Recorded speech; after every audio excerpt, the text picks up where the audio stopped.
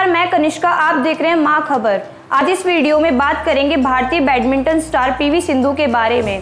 PV Sindhu का जन्म 5 जुलाई 1995 को तेलंगाना में हुआ। उनके पिता का नाम पीवी रमन है और उनकी माता का नाम पीवी विजय है। उनके माता पिता दोनों ही हमारे देश के पूर्व वॉलीबॉल खिलाड़ी रह चुके हैं। उनकी एक बहन पीवी दिव्या है।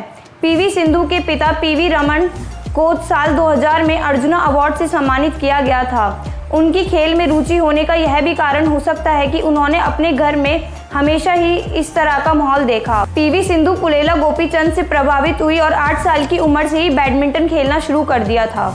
अब बात करते हैं पीवी सिंधु के ट्रेनिंग और कोचिंग के बारे में। सिंधु ने बैडमिंटन सीखना शुरू सिकंदराबाद में Indian Railway Institute of Signal Engineering and Communication में महबूब अली की देखरेख में की।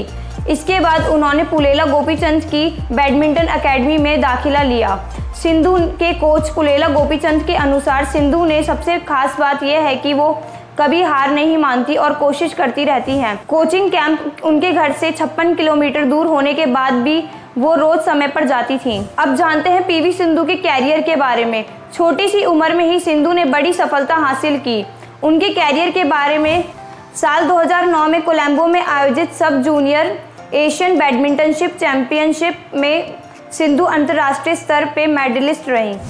साल 2010 की ईरान इंटरनेशनल बैडमिंटन चैलेंज में सिंगल्स कैटेगरी में उन्होंने सिल्वर मेडल जीता। ये ही नहीं, मैक्सिको में आयोजित जूनियर वर्ल्ड बैडमिंटन चैंपियनशिप में सिंधु ने फाइनल तक पहुँची। 7 जुलाई 2012 में सिंधु ने जापानी खिलाड़ी नोजामी को फाइनल में हराया और एशियन यूथ अंडर 19 चैंपियनशिप जीती। 2012 में चाइना की ओलंपिक गोल्ड मेडलिस्ट को हराया और सबको चौंका दिया।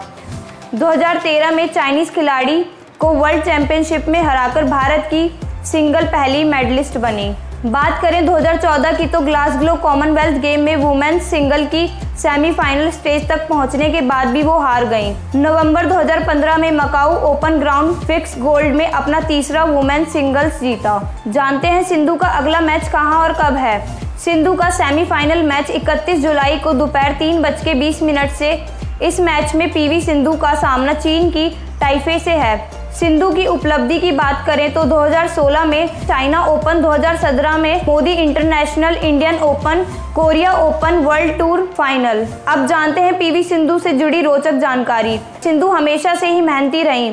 सिंधु बैडमिंटन ट्रेनिंग रोज सुबह चार बज के पंद्रह मिनट से किया करती थी। इस प्रकार सिंधु ने अपना ही नहीं, देश का नाम भी रोशन किया।